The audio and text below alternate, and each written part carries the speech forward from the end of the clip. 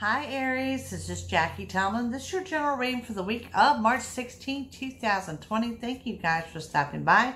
Happy St. Patty's Day, everyone. I uh, also want to remind you that the next tarot card workshop is the 21st of this month and extended videos are up. So Mercury Retro ending on, uh, has already ended. We still should be out of the clear of that. On the 16th of the month, you pretty much should be shaking the energy of retro, maybe feeling a little bit of the new uh, full moon energy, but things going along well. I'm definitely seeing the shift in Aries for the upcoming week. Some of your scattered energy is not a bad thing. Okay, I'm seeing some endings and closure, but I'm also seeing you're celebrating these endings and closure. Okay, there is a renewal with someone from the past.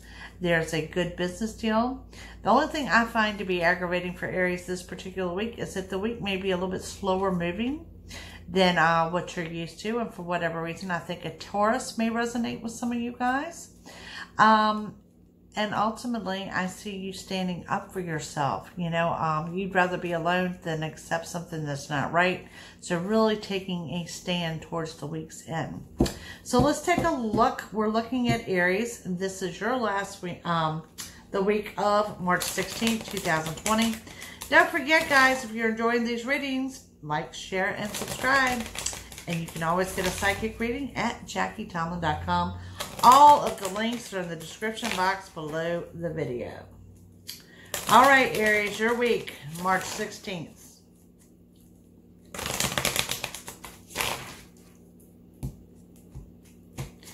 Aries, you guys start with the chariot, followed by the Knight of Swords, the Wheel of Fortune, Major kind of Strength. Look, we're going to pull all the major cards. The Nine of Pentacles and the Two of Swords. Let's stop here and I'll break down and pull three more.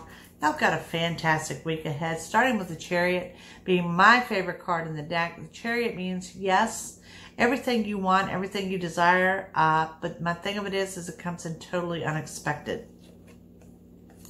Knight of Swords, something come rushing in. With that, you have the Wheel of Fortune. And what's rushing in? Anxiety, feeling overwhelmed. You guys are going to be busy, okay? So it's just kind of that uh, bajiggity feeling of not knowing where to go from here. Trying to decide if the wheel's going to turn to your favor or if it's going to turn against you. It is definitely going in your favor. Next to that, we have the strength. The strength to pull you through anything. It's going to be a busy week. Nine of Pentacles showing financial independence, financial stability. And with that, you have the Two of Swords, which is decisions. And those decisions are going to apply to those finances. Moving forward, Aries, you've got the Three of Pentacles. You've got the King of Cups and you have the Two of Pentacles.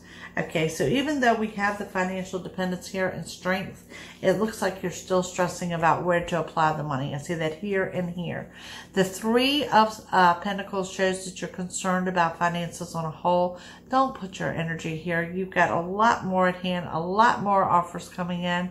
Don't let this stress you out. King of Cups shows your balance is restored. Things are going well for you and you may be juggling a little bit financially, but ultimately you are grounded. You're on solid ground there. Okay. So what I really want to say is your finances are going to be fine. Do not let stress or, or anything like that come into play in regards to the finances. It's just not going to be worth it because it does work out to your favor. Now, what you've got for your major arcana, don't forget, Chariot overrides this entire reading. You get everything you want and desire, and it comes in completely unexpected.